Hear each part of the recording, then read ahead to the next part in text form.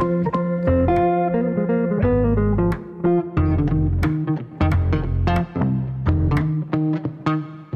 it going, guys? Welcome back to the Capital Mindset Show. Today we're doing another subscriber request. This one is known as ticker symbol ESI or Element Solutions. Okay, so Element Solutions is a specialty chemical producer, and some of the uh, things they produce, for example, are such as ion baths, solders and fluxes, photomasks, coatings, packaging, graphics, and hydro uh, hydraulics. Hydraulics. I don't know why I said it that way. Hydraulics.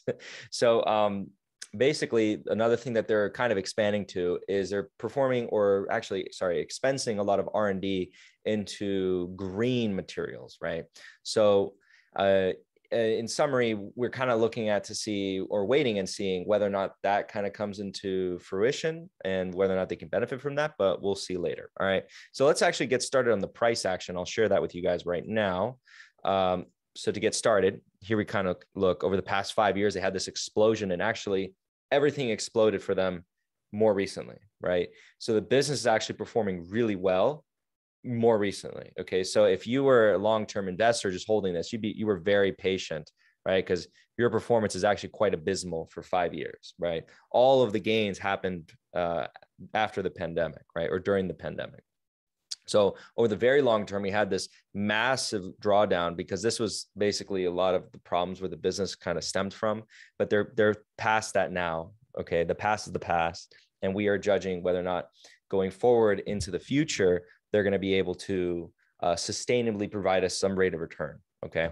So taking a look here, what Google says, the P ratio is about 23.7. All right. We'll take a look at that later and kind of talk more about that. But from here, let's actually go to the presentation and uh, discuss some of the key factors or key things that they're kind of trying to show us. Again, this is the sales pitch. And we go over the presentation sometimes to see what the company is trying to sell us on, right?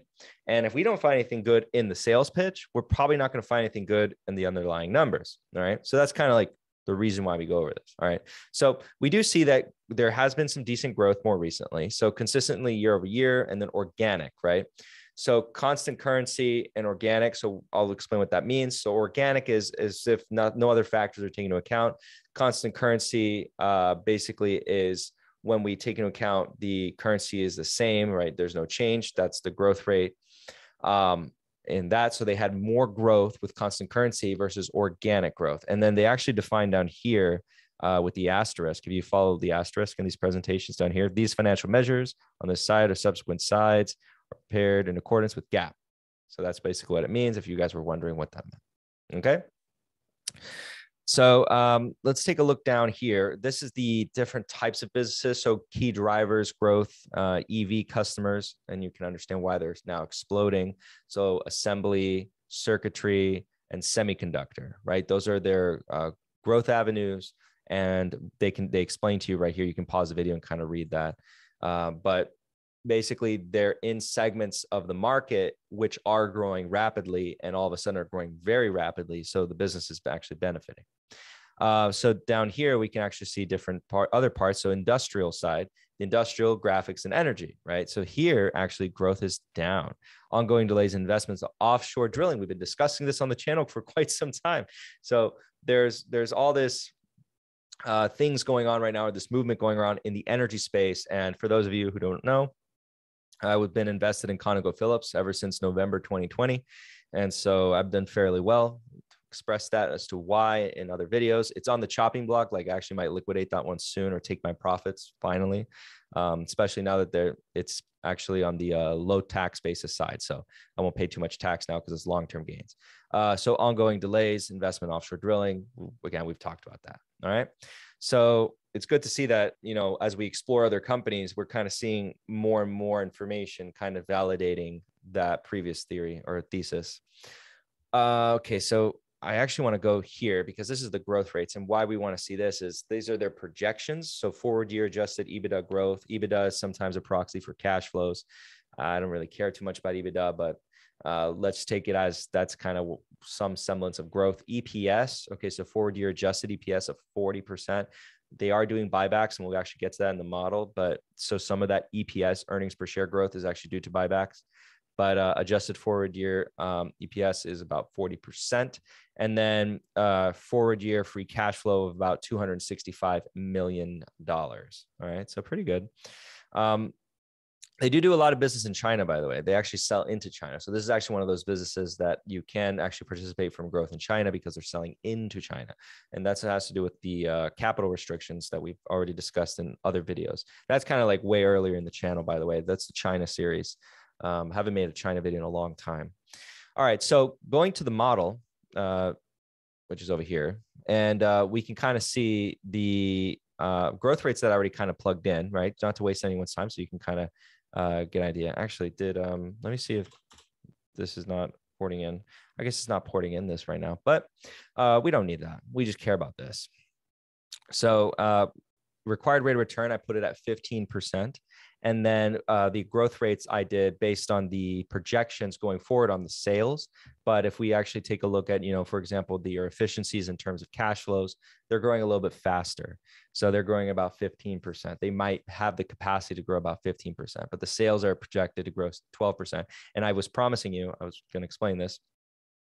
Uh, they have actually uh, experienced greater growth than the past couple years. So here's the average growth going forward, they're just exploding, right? They actually just made an acquisition of a privately held chemical company. So they're also acquiring other businesses, but their growth is kind of exploding more recently versus the, the past, right? And we don't want to look to the past and rely on the past to determine the future. We kind of want to look at the past and go, hmm, that's interesting. And then look to the future and go, okay, that's what I think it's going to do. Okay. So that's something to think about. They have been doing buybacks. So I actually have been uh, including that here um, I think maybe if we want to be a little more conservative, we can say 1%. And so if we do that, you can start to see that we actually require greater growth rates to acquire that same rate of return.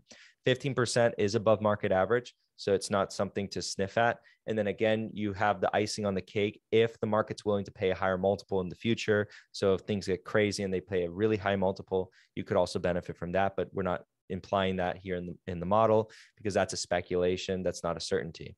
Okay.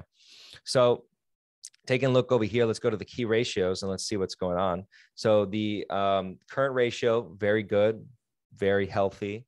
Cash ratio, that's a conservative measure. I don't need to see that above one. I don't, I would love to, but don't need to see it. I see the solvency ratios across the board, they're getting better. All right. So again, if you, for those of you who are new, I have this column right here to follow along. You can pause the video at any time and just be like, okay, that's getting better. That's getting worse. And that's supposed to help you out. Uh, the DuPont analysis is telling us something about scalability. They're maintaining margins about st- uh, pretty stable. Operating margins are improving, so they're actually improving efficiencies within the business. And then not, net profit margins are actually going up too. ROA, ROE. Okay, those are good for a business like this. All right, let's go to the um, let's yeah let's take a look at the earnings quality earnings quality is really good right now you can kind of see how things have improved right earnings quality was abysmal back in the days when they weren't really growing. And then all of a sudden, 2020, uh, 2021, they exploded, right? Earnings quality was the models picking up that it was really good. And then 2022, or sorry, this is 2021, this is 2020. Because if I go back here, let me make sure. Yep. So 2021 was really good. 2020, it started to pick up and it was really good. Let's take a look at kind of what happened in uh, uh, 2020. So 2020 was right here. Actually, it was right before the explosion. So the model was picking up high earnings quality, and then the stock price actually uh, rose quite drastically. So pretty good. Good job, model. Um, and let's take a look here down here at the inventory. Okay, so this is something I don't expect the cash conversion cycle to be really low. Uh, they are not the final product. They have customers. It's business to business, so they sell to a lot of manufacturing companies, et cetera, like and stuff like that. A lot of industrial businesses. So nothing concerning here. Uh, you can pause the video and kind of see if they've been improving on any metrics or not, but I'm not going to spend too much time here. Um, for the most part, I'll take uh, take some final thoughts on the on the summary report. I don't think this business is at risk of bankruptcy. Uh, this is kind of like even though the model's picking up an unknown, and also the Altman Z scores, interestingly enough, in the unknown space, right? I think now things are improving. It's kind of basing it off of, or not basing. It's not basing it off of the past, but um, it's it's kind of um, they're in a stage where they're improving their books, right? So that's kind of why that's probably picking that up. Um, the book value, I don't really care for business like this. Uh, obviously, if you can get it below book value for this tangible book value, then it, it's uh, it's pretty good. Uh, but it's not something I expect to trade at book value. Uh, they are paying a modest dividend, and I do think that dividend is plenty of room to grow. So if you're a dividend investor, there you go. So this business is an interesting play on the chemical space. It's a lot cheaper than a lot of other companies like Sherwin Williams and um, a couple other ones, but it's it's not too expensive compared to its peers. It is an interesting uh, space, and actually, this one I don't I don't think it's it's a bad business. Actually, I don't think it's a bad business. I think it's as a stock, it could if it comes down further, it starts to get really interesting because the business space that it's in is quite interesting. It's boring. No one really cares about this. And again, I just lowered the discount rate, by the way, for those of you may not have seen. I lowered it to 12%. When you lower it to 12%, you're basically uh, alleviating some of the expectations on returns, but you, can see that the price that you have to pay is actually a little bit higher, or you can pay a little bit higher and get those returns, or expect to get those returns. Right? You can be a little bit more conservative in your growths and still meet those uh, expectations. But I think 15% is is is fair because there's a lot of uncertainty. I, I personally am not a chemical engineer, uh, so I don't exactly know the little nitty gritty details. I just can analyze the business and go, okay, well, the cash flows or might do this. So then it's probably a good idea to buy. All right. So um, yeah, I, th- I, think this is a great business. Um, uh, on that note, I guess if you guys have any questions, you guys can leave them down below. If you guys have any other requests, go ahead and leave those down below. Uh, thank you guys so much for your patience on these stock request videos. Uh, there's a lot to get through. Um, so what I'm going to be again trying to do is knock more and more of those out and um, try to get those out to you guys who have been waiting for quite some time. But I'm going in order, by the way, of when I receive them. So I'm, you know, I'm not cutting anyone out. And then some of you who've been requesting from way back when, uh, you might be seeing them come out now because I'm just catching up.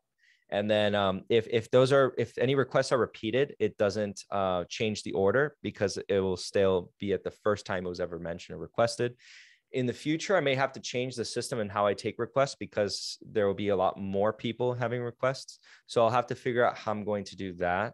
Uh, but on that note, uh, I still have a lot of fun and enjoy, you know, putting these videos out for you guys.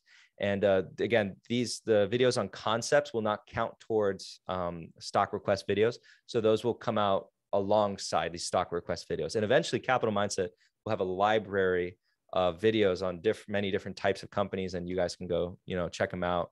Um, and then if anything big happens to big names that I've already discussed, those will always have update videos, etc., stuff like that. Okay. On that note, guys, I hope you guys have a good one, and I'll see you guys on the next one. Bye.